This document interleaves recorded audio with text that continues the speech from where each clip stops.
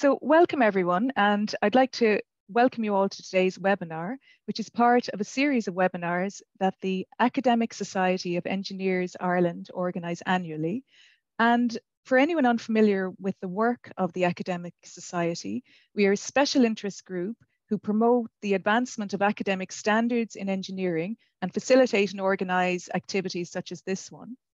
Um, my name is Michelle Luby and I'm um, one of the members of the Academic Society, and I'm also senior lecturer in TU Dublin in the engineering school. So the Academic Society aims to develop and disseminate a body of knowledge for engineers working within the academic community and also serves engineering professionals with an interest in academic topics.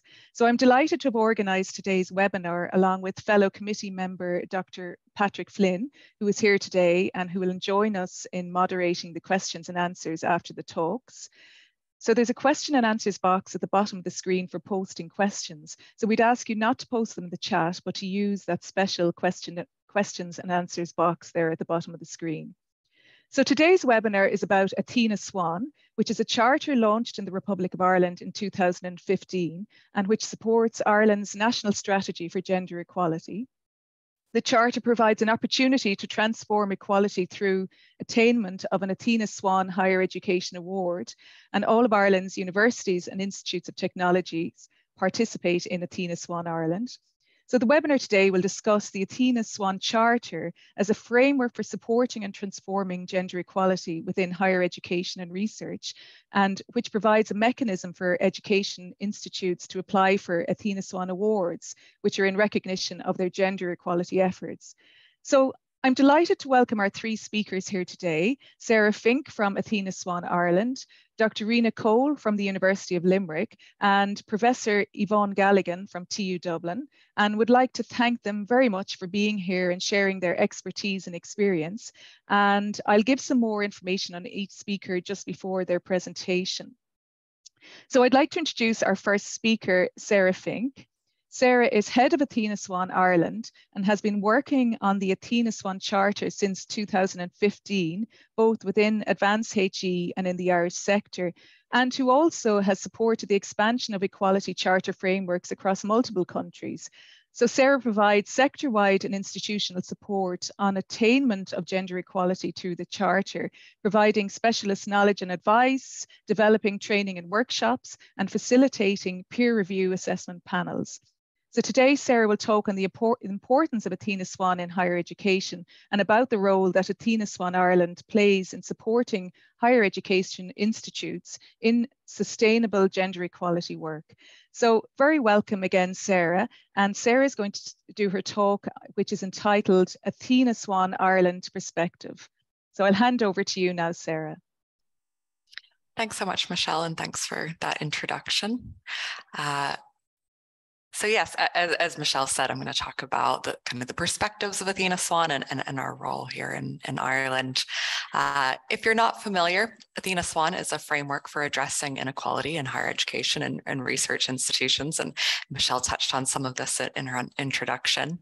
Applications uh, can be submitted by higher education institutions, but also by academic departments and professional units. It's based on a methodology of self assessment, peer review, and continuous progression.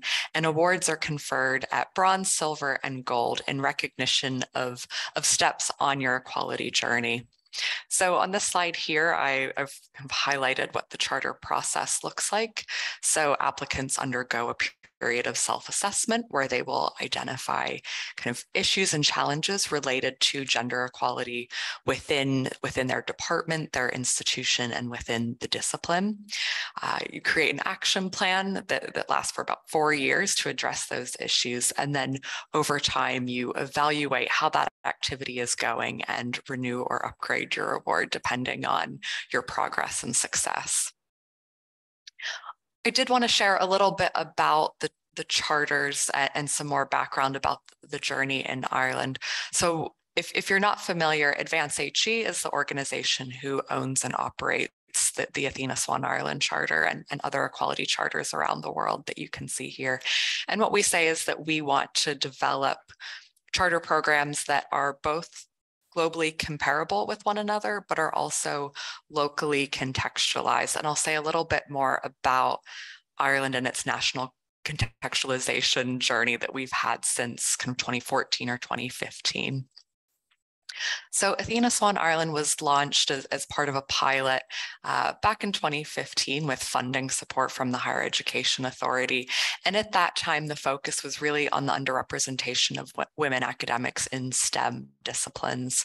But we've seen a lot of kind of building capacity in the sector and the charter has evolved over time. Um, so in 2017, we, we expanded it to, to look to all disciplines in the sector, to include other staff working in, in institutions. So not just the focus on academics, but professional managerial support, technical staff as well.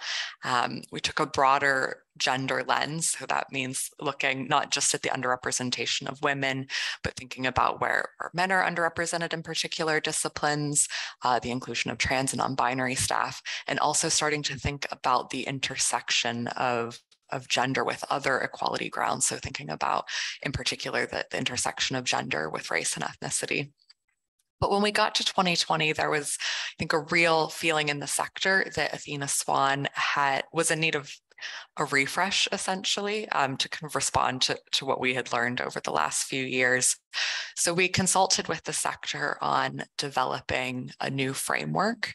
Um, and this framework is now in place, and all charter applicants will use that from from this month as, as, they, as they apply for their awards. And I did want to spend a little bit of time talking about some of the aims of that new framework and some of some of the issues that we wanted to respond to. So we heard from the sector that it's really important that Athena Swan can continue to drive impactful and sustainable gender equality work.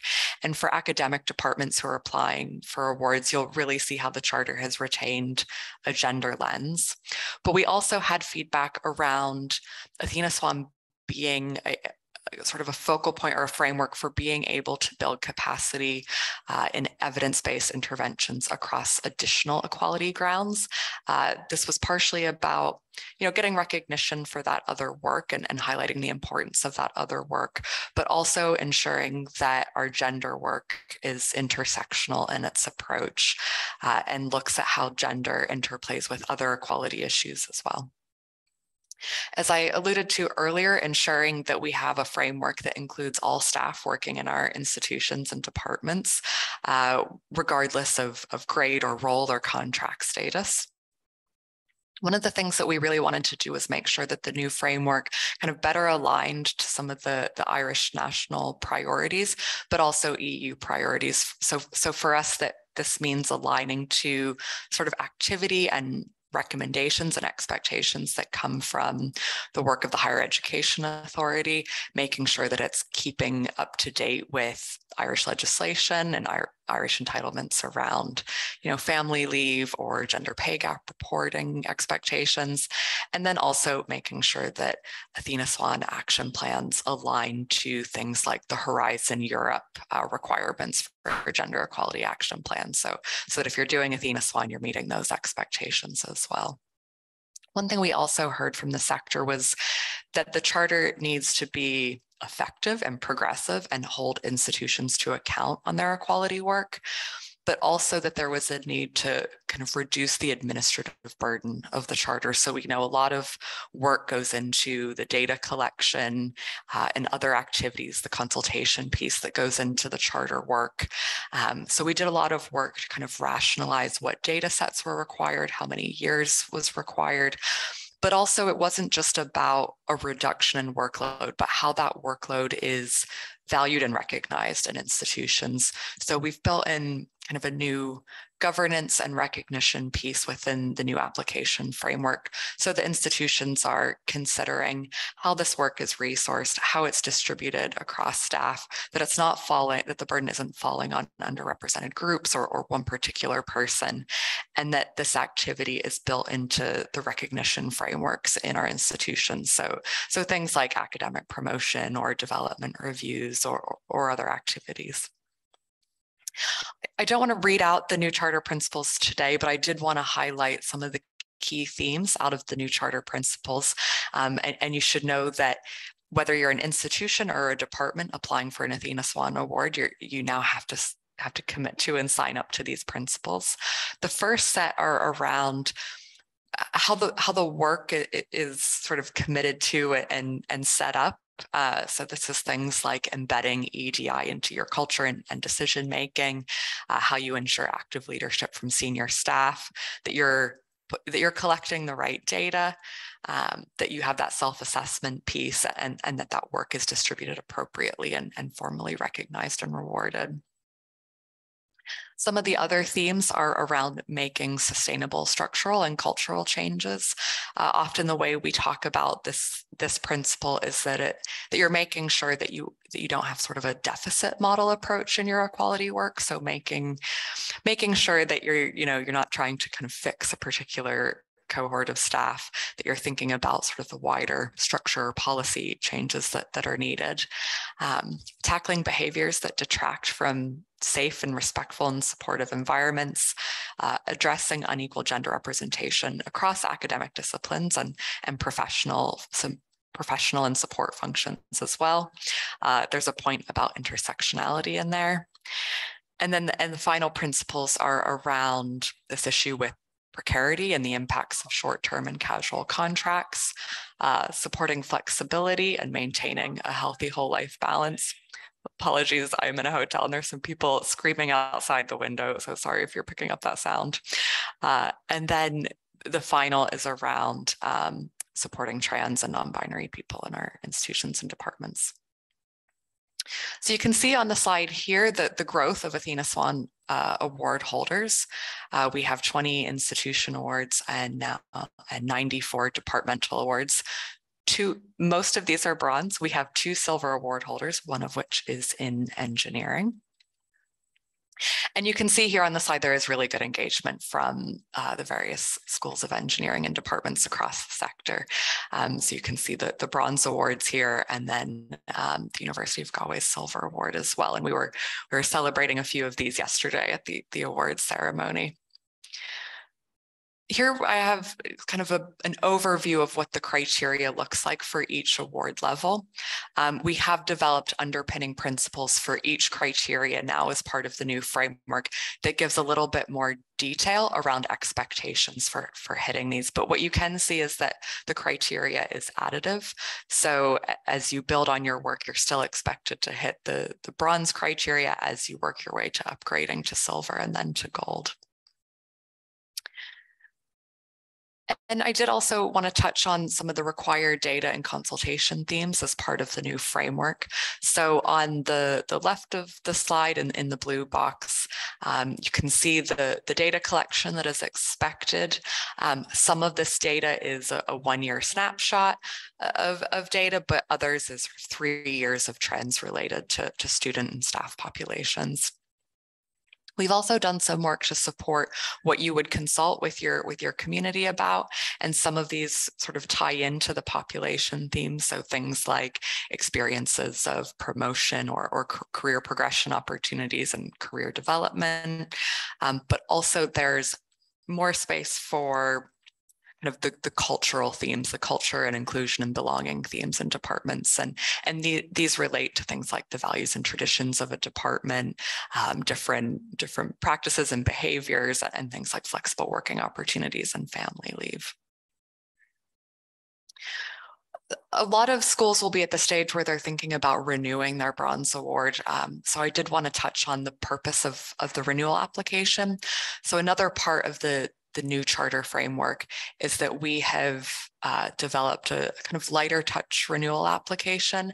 And really it's an opportunity for, for you to understand and reflect and demonstrate your progress to date and also determine priorities and actions for the future.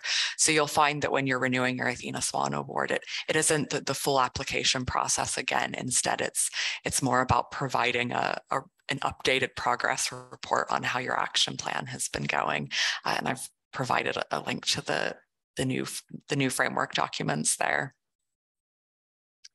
And just to say, get please do get in touch anytime. I know there's space for questions at, at the end of today, but just thanks so much for, for having me.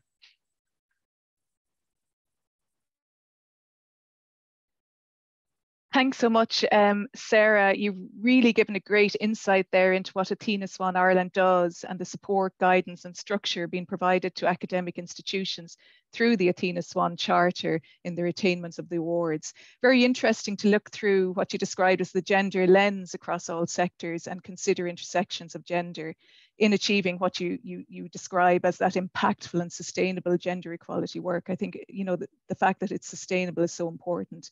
And it's fantastic to hear about the engagement across all the different educational institutions. So thanks very much for that, Sarah. Our second speaker is uh, Dr. Reena Cole. So Rena is an Athena Swan champion in the School of Engineering in the University of Limerick. Reena is a lecturer in mechanical engineering in the school and is also the Assistant Dean for Academic Affairs in the Faculty of Science and Engineering. She has led the School of Engineering Athena Swan team since 2017 and is a committee member of the Engineers Ireland Academic Society. Today, Reena will talk about the achievement of an Athena Swan Bronze Award in University of Limerick and how this has been embedded within the School of Engineering. So very welcome again, Reena. And Reena's talk is titled the, Un the University of Limerick School of Engineering Athena Swan Journey So Far. Thanks very much, Michelle. Uh, it's, it's great to to talk about this again because I, I, suppose I, um, from from working in it over the last five years, I would uh, think of myself as a champion, and I think it, it's a, a really good. Uh, it's been a good journey. So some in in in uh, um, in general, some some highs, some lows, but overall, um, it's great to see how uh, trying to um, increase our gender balance in engineering has has really progressed in the last five years. But also, um, uh, as uh, Sarah was saying there, how uh, it, has been widened now, not just to look at gender, um, and and that's slowly happening, I think, and and hopefully that that will gather pace as we go. So um, I suppose uh, just talk a little bit about where we are within the, the, the uh, institution. Um, I spoke on this um, about a year ago as well, and we were we were still at an earlier stage of, of the journey. And um, back then, um, there was we were one of, of a number of departments that hadn't received a bronze award yet. But at this stage, um, all bar one department or unit in the University of Limerick has a bronze award. And as Sarah said, our physics uh, department have a silver award, and the institution is going for um, a, a, silver award as well um, in in the coming uh, in this cycle. Um, so uh, over the last five years, um, over the last five years that I've been involved, this has really um, uh, been embedded within the University of Limerick. So in uh, April 2017, the school um, self-assessment team was set up. Um, I was asked to lead it. Uh, we worked very hard and we put in a bronze submission in, uh, 20, in November of 2017 and uh, we found out the following April that it was unsuccessful. And you know, we'd put a lot of, of, of work into it but um, so it was very disappointing. But uh, I suppose also reflecting on it now wasn't hugely sur surprising because it had been um, you know it was it was uh, just done in in in that quick sort of six month period.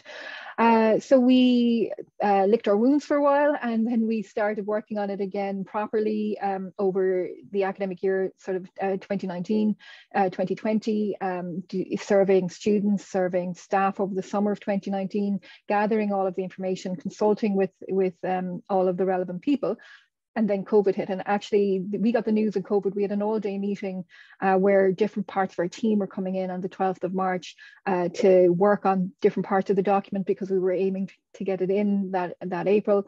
Um, and we were due to get it to um, our, some internal reviewers within a week or so. And then we heard the announcement um, from Leo Varadkar. So, um, with one thing and another, it really, really um, impacted on our, our work um, to, to resubmit. So um, this group here was just before all of that happened, and uh, it was great because we had a really good strong student cohort in there uh, both at undergraduate level and postgrad level and what happened then in in trying to resubmit is, because a lot of the work was done online um, we drove forward predominantly with based on, on the work we had gathered and and, and the work of those students but also um, uh, we it was predominantly staff that were working on it. So um, we submitted in June 2021, um, got a request for resubmission in, in November of, of 2021. Um, and this is the group um, that were working very hard on it um, at this time. Uh, unfortunately, then we we got notification that really there was still a little bit more work that needed to be done. So we resubmitted um, uh, in February uh, just gone, and uh, finally in April, um, we we got notification that we were awarded, and was delighted to attend yesterday um, at the ceremony and to uh, receive our, our lovely award, which is is actually a physical award. It's it's lovely to meet people um, uh, again under the circumstances we've been operating in the last few years, and also the the picture is um, the team from electronics and computer engineering with Confirm who also uh, got their their award uh, yesterday. So we've been working on, on implementing all of our actions. So uh, we're still meeting, um, well, so far we've still been meeting online. So there's one of our earlier meetings and thankfully we have some students um, back working with us now, which is great. So two of the students that are here, um, Ashling is the um, president of the YSTEM uh, Society, uh, so Women in Science, uh, Technology, Engineering, Maths um, uh, Society, uh, and is a third year engineer. And Emma is also involved with that society, and she's a postgrad. And Emma was on um, our previous SAT as a as a, a uh, postgrad, uh, sorry, as an undergraduate rep, and she's now there as a postgrad rep. She's doing a PhD. Um, one of the things we, we were trying to do is just really get the girls mixing earlier. So we, we invited uh, all of the first year girls to um, a coffee morning. And unfortunately, we didn't have a huge amount turn up. Um, I also have some fourth years in that picture as well. Um, but I think trying to, to build networks is really important. And one of the things that I've spoken with um, Ashling and Emma about is, is about trying to build a buddy system for first year engineers. So these are all actions that we're, we're working through. But I suppose just to go back to to part of our journey. Um, uh, you know, we're a very large school um, of engineering. I'm, I'm, sure similar to other schools of engineering in, in the other institutions. Um, but uh, looking at our profile uh, when we submitted, um, we had 53 academics, 46 researchers, 23 technicians, five admin, just a very big school. And in terms of, of where we sit within the institution, uh, the School of Engineering had 11% um, of all of the undergraduate um, students within in, in that academic academic year. So we're, we're a very big um, part of the university. And unfortunately, um, what we have here is, is, comparing our School of Engineering percentages with Science and Engineering faculty and then UL. Um, and just to note that the, this is a three-year average and it, it just happened to work out that that it was exactly 50% male and female in the whole institution. And I, I did query that because it just seemed too good to be true, but it, it's, it's just the way the three-year average did work out. So um, the average across the institution is 50% within science and engineering, it's 31%. And um, unfortunately in, in, in School of Engineering, it's, it's only 14% in, in that three-year period. Now, it, it is increasing, um, our intake um, uh, balance um, is increasing. So do hope to see that number increase. Uh, but it, it's um, we've we've had you know a mix. We we dropped down and around the time that we submitted our first award it, it had actually reached the lowest amount at 11% but thankfully it has been increasing and, and i'd like to think that this increase since 2016 2017 is is something to do with all of the work that we've been putting in. Um, but we have seen a, a, marked increase. So back in 2020 21 we did have um, just under 16% of, of women in all of our undergraduate programs but we have problems in a number of different programs. So um, construction and management engineering is low, mechanical engineering and, um, and civil engineering. And then on the other side of that, we have biomedical engineering.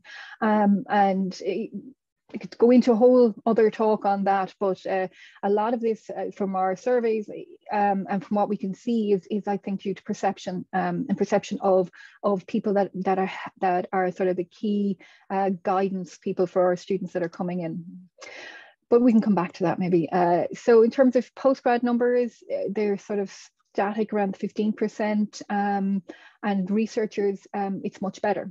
So what we do find is that the girls uh, that are the women that we do have do tend to stay on um, to do PhDs. um, in greater numbers.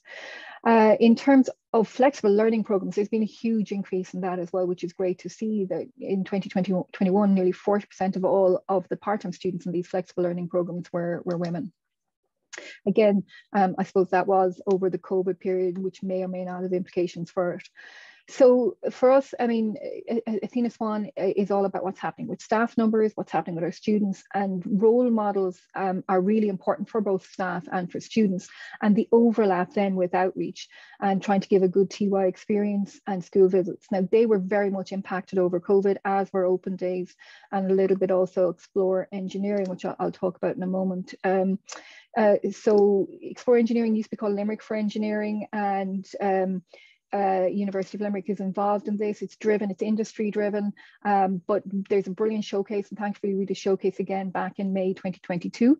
Um, and the, the photo with the engineering text is from that. So it's a really good way to, to literally showcase engineering um, because the companies are there showing um, what they do and the types of people that they need to work there. And this is engineering at all levels from apprenticeship up to, to, to level 10. One of the other things we did uh, after starting this journey is, is to create a, a Twitter account to just get out the information of what, what we're doing as School of Engineering, but really highlight, highlighting anything we're doing in terms of, um, of women in engineering. We're also part of, um, as part of Explore Engineering, uh, we also helped drive uh, the Inspire event in 2022. And Emma here um, on the right is, is one of our, our SAT members that I showed. I'm, I'm here on the left, and it, it was bringing TY students um, and in the, and this year fifth year girls as well in to hear from uh, engineers at different stages in their career. So Emma was at sort of student, postgrad student level.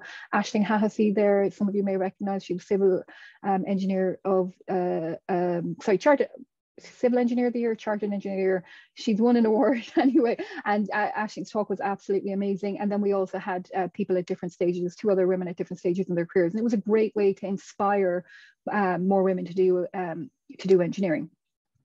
So, um, you know, our actions um, come under, we have a lot of actions, they come under a number of different goals.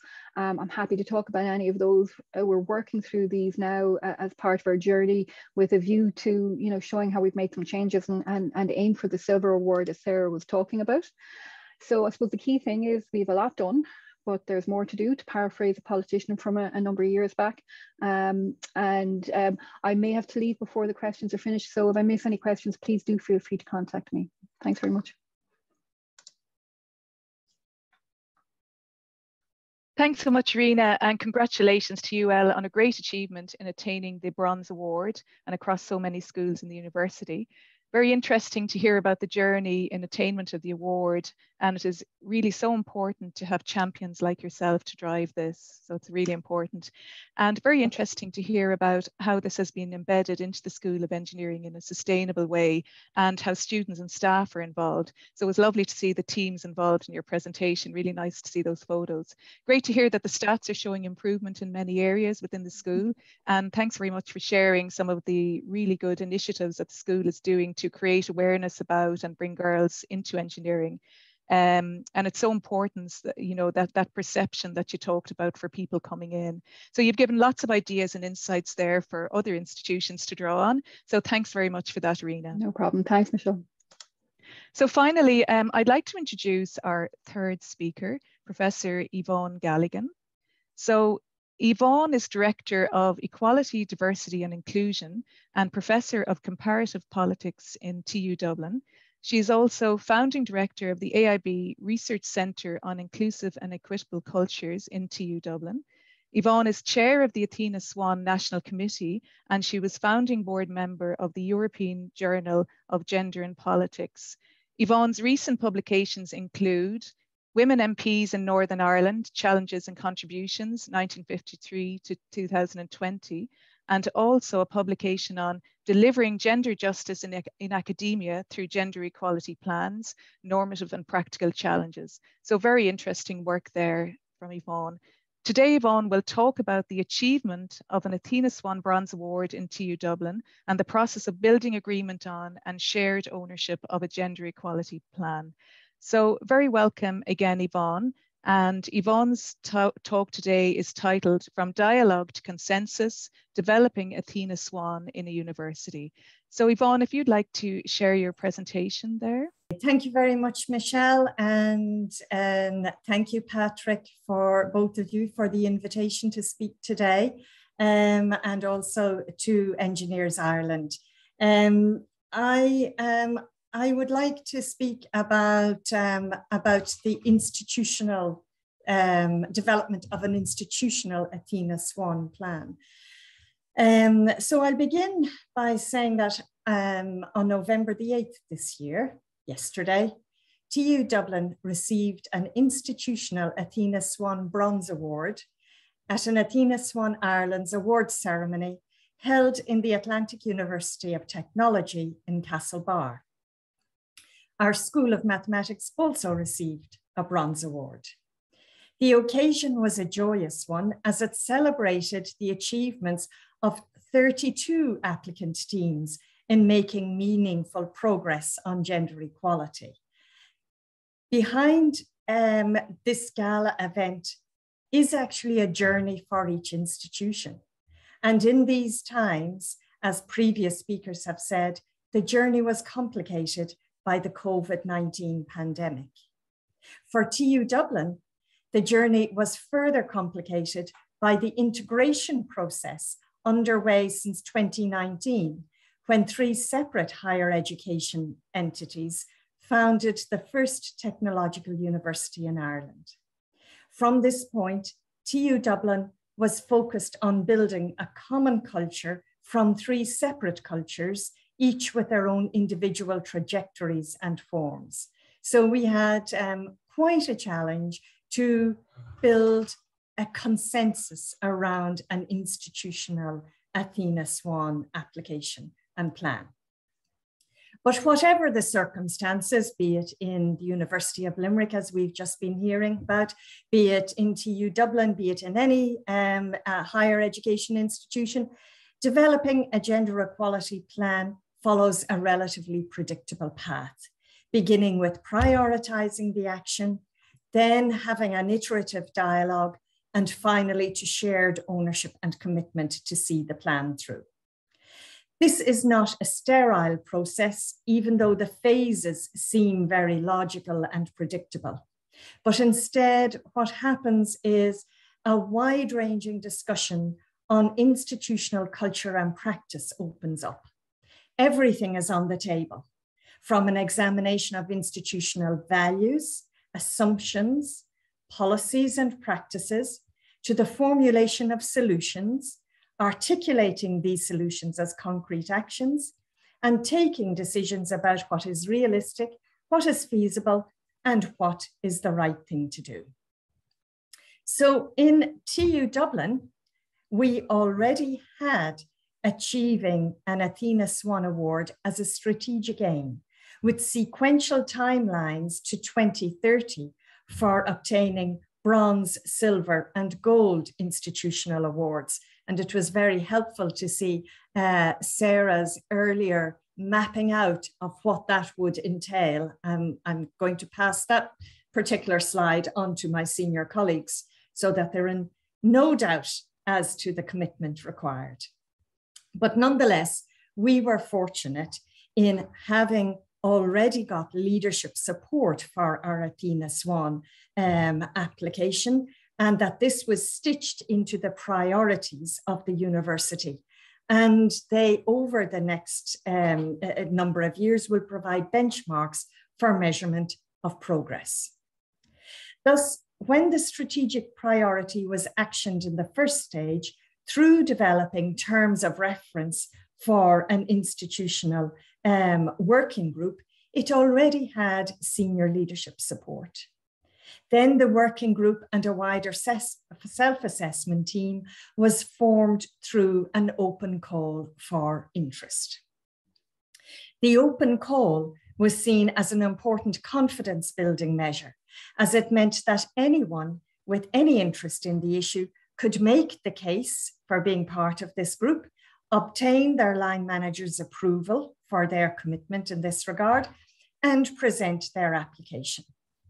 In addition, the criteria on which the applications would be evaluated were clearly presented in this call, and the general range of skill sets required for this task was made very clear and explicit as part of the documentation.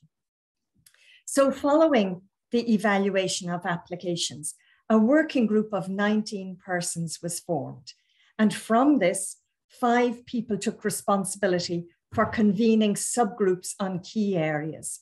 And these key areas were um, policy, communications, data, and organizational culture. The remaining applicants were then encouraged to select their preferred subgroup. This brought the entire Athena Swan evaluation team to 44 and comprised a good cross section of the university um, in, including people from professional services, people at all levels and grades, um, postgraduate students. We didn't on this occasion have undergraduate students, but we had postgraduate students and postdoctoral um, um, uh, awardees with us as well. Now, this might sound like a very large team to manage, um, but we were just forming our university. And it was important for us to have a transparent process and an, and an inclusive and diverse team to go through the Athena Swan process, uh, application itself. The full team was in place in May 2020, and we never expected to be working in COVID conditions for almost two years. Nonetheless, uh, the work of data gathering, investigating policy implementation gaps, evaluating the working culture, and communicating the ongoing work to the university community got underway. This included a staff survey on gender equality issues. It included holding 11 focus groups to dig more deeply into the findings of uh, the staff survey. It involved interviews with managers in different areas and uh, across uh, different disciplines, as well as with managers in professional services.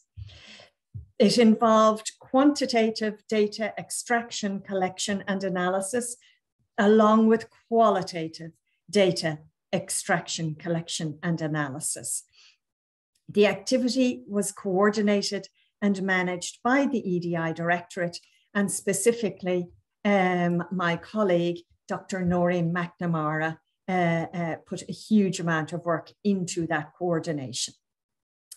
So by the time we had a draft application together, the areas requiring action were quite clear. At that point, we began to test out some possible solutions or measures to address the various action areas. At this point, consultation with people in key positions, for example, heads of school, human resources, learning and teaching leaders, etc. These became very important touch points for us to get feedback uh, on the plan developed by these 44 people. We got valuable feedback on possible actions to address the problems and we also were given an additional layer of nuance and understanding to the gaps our analysis had identified. Then the application and the draft action plan was presented to the university executive team. Feedback um, from the executive took place over three rounds of discussion and iteration, both on a collective basis and uh, often a one to one basis. And this brought buy in from the top leadership to the action plan. It also resulted in the identification of four institutional priorities from the 50 plus actions proposed.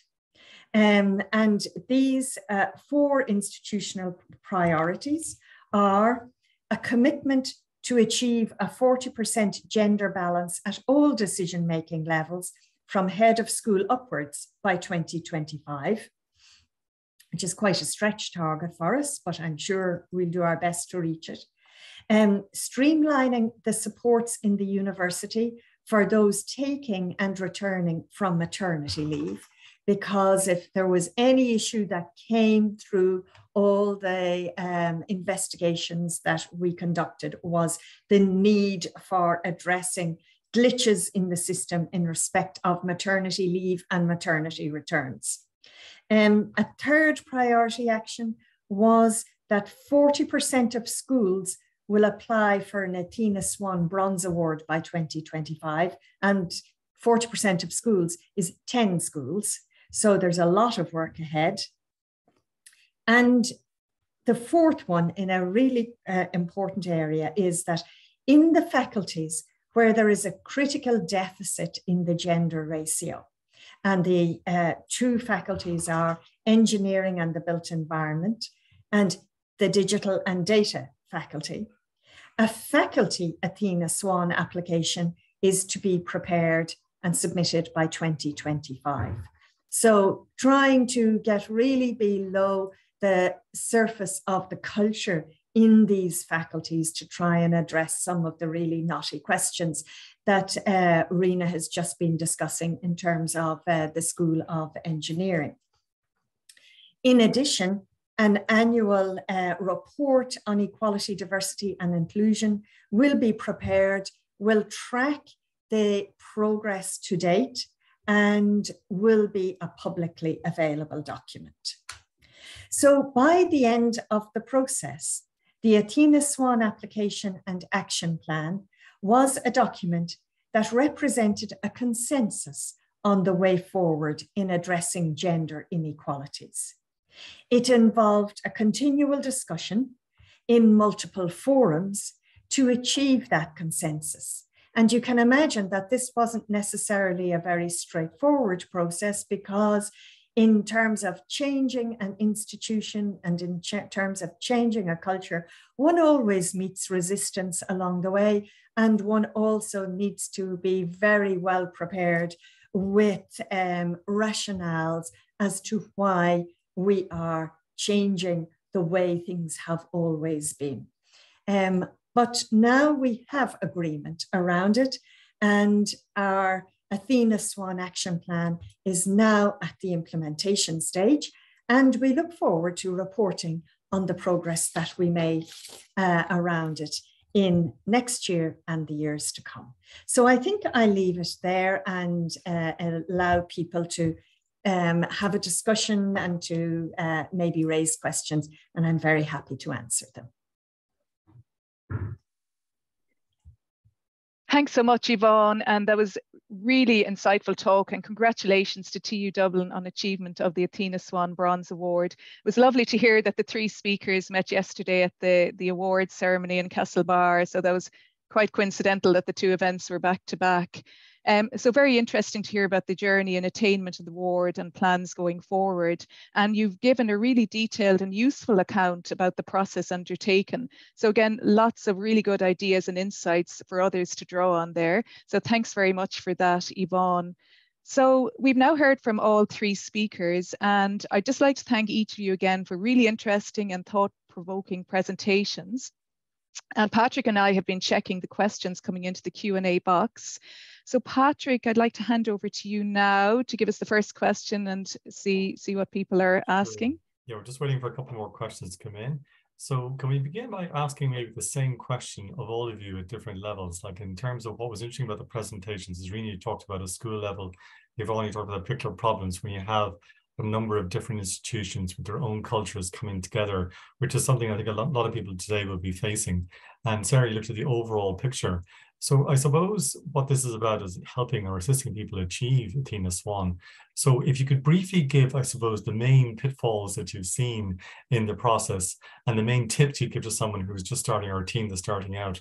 So I might maybe put that question first of all to you, Sarah, at the overall level of achieving Athena Swan. Yeah, thanks. I think that's a really good question. Um, I think one thing that I would say for academic departments in particular is making sure that they are thinking about how their work aligns to their institutional Athena Swan plans as well. So all the institutions are required to have Athena Swan action plans, and there is hopefully within those action plans, a lot of foundational work that would be needed to help support academic departments.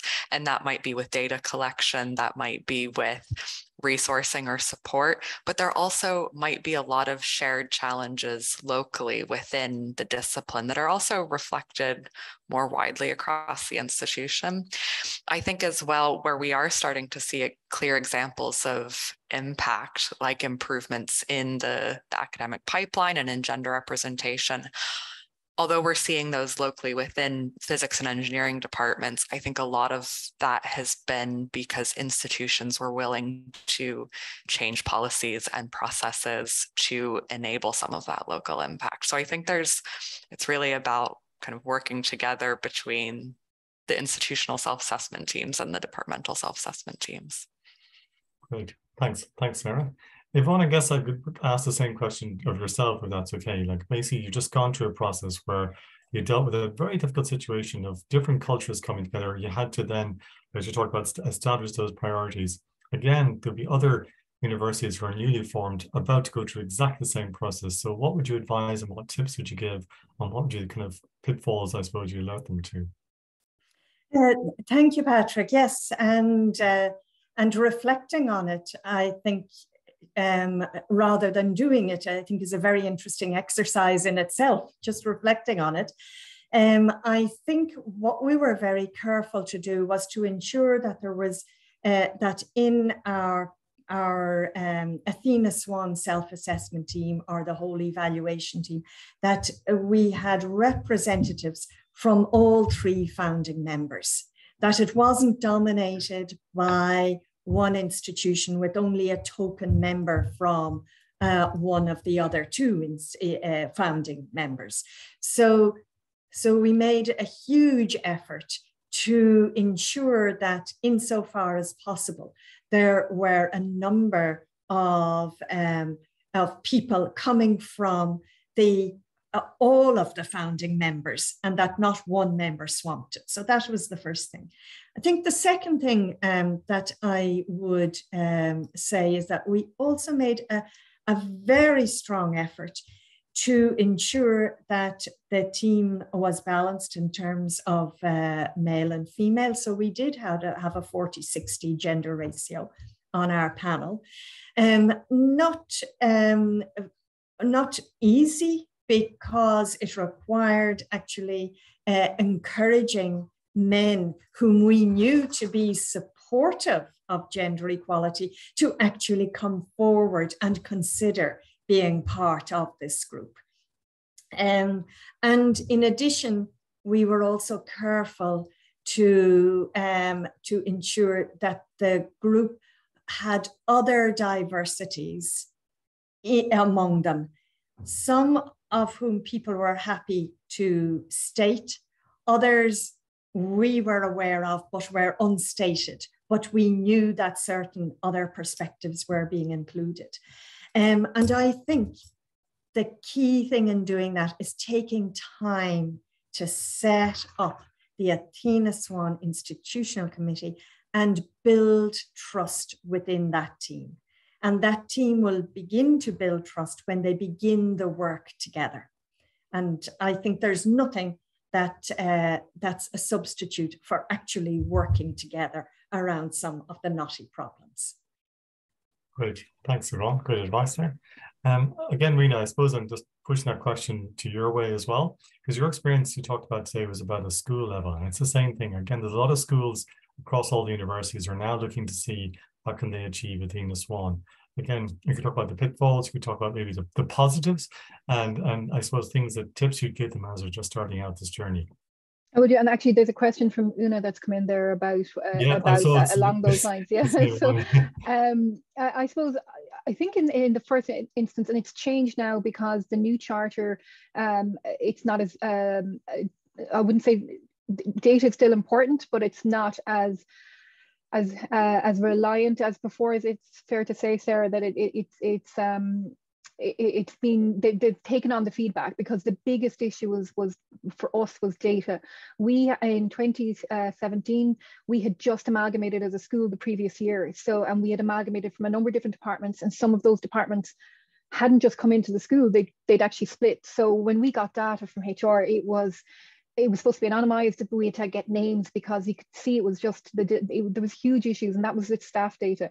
Um, so I think that was the big problem. We I ended up spending so much time on on on the data that we we uh, and writing the report that the action plan was very much an afterthought. Um, and um, I think that was our, our key problem uh, the first time around. Second time around, um, our action plan was better, but it was still it was still not good enough. I mean, I, I, I suppose Mike learning from even the the iterative, iterative approach when we, we presented the second time, which became a second, third, and fourth time, was um, was just about being very specific in the action plan. And it, but that's great now because it's very helpful now that we're implementing it that we we know what we're supposed to be hitting so i think they're the key things is just don't underestimate the, the data. I would also say get your color scheme right from the start so that you don't have to go back at the end and change all your charts. So that you know you tell if you've got different teams working on staff and on students and whatever you've decided what what colors you're using for what years what colors you're using for what genders or or whatever you want to do but just so that the people that are doing the individual work produce the same uh, quality or uh, type of, of chart. So then it doesn't become a big job for the person who's putting it uh, into the document to, to fix uh, and, and, and lose a lot of time. Uh, and the action plan, just don't leave it till the end. That would, would be the key thing. Thanks, Reena. I think as you said, you you picked up on Una's question in the chat so far.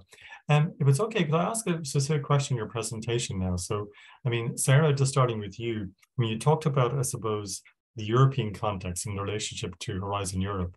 I suppose, like again, as we've outlined today, it is quite a lot of work in putting this application together and also then ensuring that the actions are carried out. Is there an overlap between, I suppose, the European version and what Horizon Europe is looking at and what Athena Swan is looking at? Or, and, I suppose, looking to the future, is there any proposal to develop a European-wide approach which would incorporate Athena Swan? Yeah, great, great question. Thank you for that. So yeah, in terms of alignment Horizon Europe, I think we kind of lucked out in some ways with the timing of the redevelopment of the new Ireland Charter because we were able to make sure that it adhered to some of the to, to, to all the requirements really of, of Horizon Europe. So those gender equality action plans sort of two sets of requirements. One relate to the, the process related requirements in developing a gender equality action plan. So that's things like making sure it's a publicly facing document that is reported on and signed off by senior management. Things like that are built into the Athena Swan process, ways of how you collect data, that sort of thing.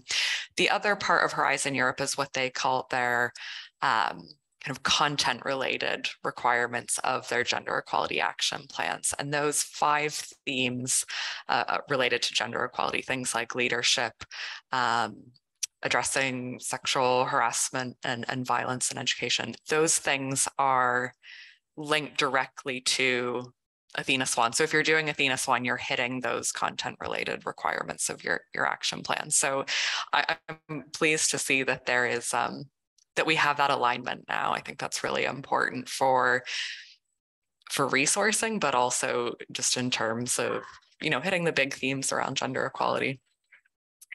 For having a, a European wide approach, there's a lot of we've been part of a lot of working groups that look at having a European wide charter. And I, to be honest, I'm not, I'm not quite sure where we are with that. At Advance HE, we often get institutions from various countries around Europe or, or countries in themselves who approach us about developing a charter. What we have learned is that they do take a lot of national contextualization, um, depending on everything from how much data is available to sort of local legal requirements, but also just institutions will have their own priorities and themes. So maybe someday, but I'm not sure yet. And um, I had a question then as well, if, if I can come in there. Um, so how difficult is it to get that diversity of engagement within, within the process and, you know, to apply that gender lens that was spoken about across that intersection of gender? How, how difficult is that? I know diversity was coming up a lot in the talks. So I'd like to ask both of you actually. Do you want me to start? Yeah. The, the, the intersectionality piece you, you mean? Yeah so i think this is a real challenge i think for institutions and we've really shifted our approach and how we ask about it. Um, so i talked a little bit about the journey of the charter and in kind of that 2015 to 2017 period we came out and asked institutions to start providing um, data and reflection and action on the intersection of gender with race and ethnicity. And what we found is that no institutions could kind of provide that data to us. And, and for us, this meant working with the Higher Education Authority to start to figure out how we laid some of the groundwork and support so that institutions could start to collect that data, um, kind of in, increase disclosure rates.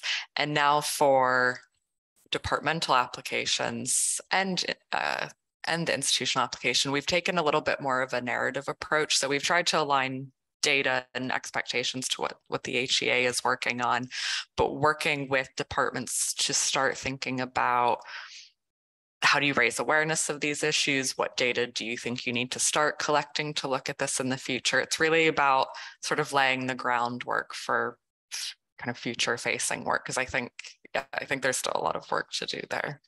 Yeah, thanks very much, Sarah. Yeah, that's really important.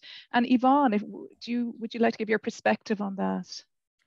Yes, and I, I agree with uh, Sarah. I mean, uh, in bringing an intersectional perspective onto a gender equality um, approach um, needs um, careful thinking about. And we we tried to do that mostly through our focus groups. That was one of the reasons we conducted the focus groups in the first instance. So, and the reason we had so many, because we wanted small groups um, um, and we wanted particular profiles. Um, and we uh, also wanted to enable some of those to be intersectional. So, for example, we had an exclusively um, uh, Black and ethnic minority women's uh, focus group to, to enable them speak uh, with, um, with some um, safety, uh, you know, having a safe space for them to speak about issues.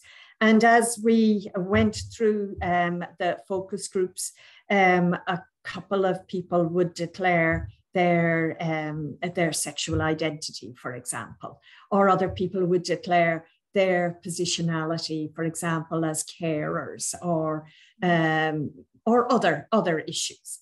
And um, so so that's how we try to bring out the data around around it uh, in a qualitative way and then build it into the analysis that we uh, were presenting in the application as a seamless part of the application um, but I think I think Sarah's right it's not so much people ticking boxes saying, you know, I, uh, I am declaring that I have a disability, I'm declaring this, that, and the other. It's about gathering the, um, gathering in a safe space the views of people who have those perspectives on the workplace and on the world and integrating those ideas mm. that they come forward Yeah, it's it's so important, isn't it, that everyone has a voice. You know, just listening to you here, guys, we could I could listen to you for a long, long time, but unfortunately, we're just coming to the end of our webinar.